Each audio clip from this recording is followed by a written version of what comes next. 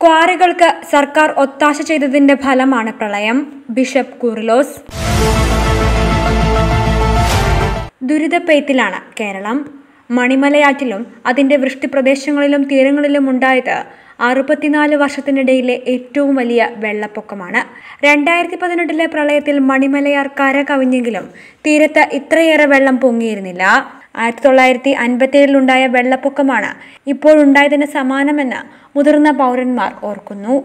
അപ്രതീക്ഷിതമായി വന്ന ദുരന്തത്തിൽ ഗാഡ്ഗിൽ റിപ്പോർട്ട് നടപ്പിലാക്കാത്തതാണ് ഇത്തരത്തിലൊരു സാഹചര്യത്തിലേക്ക് കേരളം എത്തിയതെന്നും ക്വാറികളും ഖനന മാഫിയയ്ക്കും സർക്കാർ അനിയന്ത്രിതമായി സൗകര്യം ചെയ്തു കൊടുത്തതാണ് കേരളത്തെ ദുരിതത്തിലേക്ക് തള്ളിവിട്ടതെന്നുമുള്ള ആരോപണങ്ങളും ഉയരുന്നുണ്ട്. ഇപ്പോഴിതാ സമാന ആരോപണവുമായി നിരണം ഭദ്രസനാധിപൻ ബിഷപ്പ് ഗീവർഗീസ് മാർ കൂറിലോസ് രംഗത്ത് വന്നിരിക്കുകയാണ്. ഇനിയെങ്കിലും എന്ന തലക്കെട്ടോടെയാണ് അദ്ദേഹം ഫേസ്ബുക്കിൽ പ്രളയത്തെക്കുറിച്ച് കുറിപ്പ് പങ്കുവച്ചിരിക്കുന്നത്. അദ്ദേഹത്തിന്റെ ഫേസ്ബുക്ക് പോസ്റ്റിന്റെ പൂർണരൂപം. ഇനിയെങ്കിലും മഹാപ്രളയങ്ങൾ പെട്ടിമുടി കവളപ്പാറ ഇപ്പോൾ കൂട്ടിക്കൽ ദുരന്തങ്ങൾ തുടർക്കഥയാകുമ്പോഴും എന്തേ നാം ഒന്നും പഠിക്കാത്തത്? കേരളത്തിലെ പരിസ്ഥിതി അതീവ ലോലമാണ്. വികസനത്തിന്റെ പേരിൽ നാം തുടർന്നും പ്രകൃതിയെ അനിയന്ത്രിതമായി ചൂഷണം ചെയ്യുന്നു. മലകളെല്ലാം ഇടിച്ചു നിർത്തി മലനാട് ഇല്ലാതെയായി. കയ്യേറി കയ്യേറി തീരങ്ങളും ഇല്ലാതെയായി.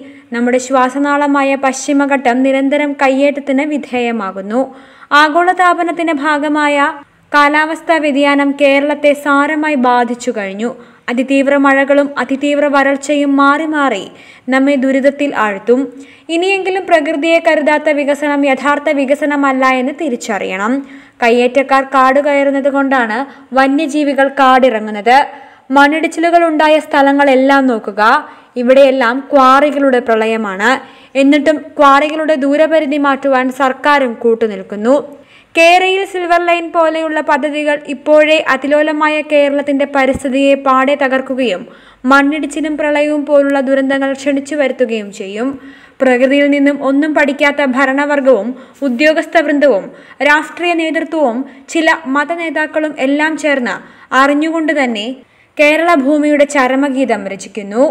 ദുരന്തങ്ങളെ ക്ഷണിച്ചു വരുത്തിയിട്ടും ദുരന്ത നിവാരണം നടത്തുന്നതല്ല മറിച്ച് ദുരന്തങ്ങൾ തടയുവാൻ പരിസ്ഥിതി സൗഹൃദ നയങ്ങൾ നടപ്പിലാക്കുന്നതാണ് നല്ല ഗവേണൻസ് കേരളത്തിൽ പകൽ വെളിച്ചത്തിൽ നടക്കുന്ന പരിസ്ഥിതി കൊള്ളയ്ക്കെതിരെ ഇതിനു മുൻപും രംഗത്തു വന്നയാളാണ് ബിഷപ്പ് കൂറിലോസ് ഹാരിസൺസ് മലയാളം അനധികൃതമായി കൈവശം വെച്ചിരിക്കുന്ന എസ്റ്റേറ്റ് ഭൂമിയിലേക്ക് അവകാശ സ്ഥാപനം നടത്തി കുടിൽ കെട്ടുകയും സർഗാത്മകമായ സമരത്തിന് നേതൃത്വം നൽകിയ ലാഹ ഗോപാലൻ തുടങ്ങിവെച്ച ഭൂസമരം തുടരുക എന്നതാണ് അദ്ദേഹത്തോട് ദളിത് സമൂഹം നൽകേണ്ട കടപ്പാടെന്ന് കഴിഞ്ഞ ദിവസം ബിഷപ്പ് ഗീവർഗീസ് മാർ കൂർലോസ് ഹാരിസൺ മലയാളത്തിനെതിരെ നടത്തിയ പ്രതിഷേധ യോഗത്തിലും അഭിപ്രായം പ്രകടിപ്പിച്ചിരുന്നു. കേരളയിൽ സിൽവർ ലൈൻ പദ്ധതിക്കെതിരെ രൂക്ഷമായ ഭാഷയിൽ ഇതിനു മുൻപും അദ്ദേഹം പ്രതികരണവുമായി രംഗത്ത് വന്നിട്ടുണ്ട്.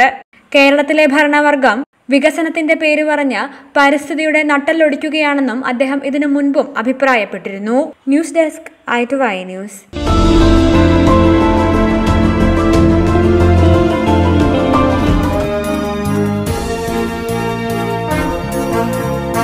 i2i News, an eye for truth.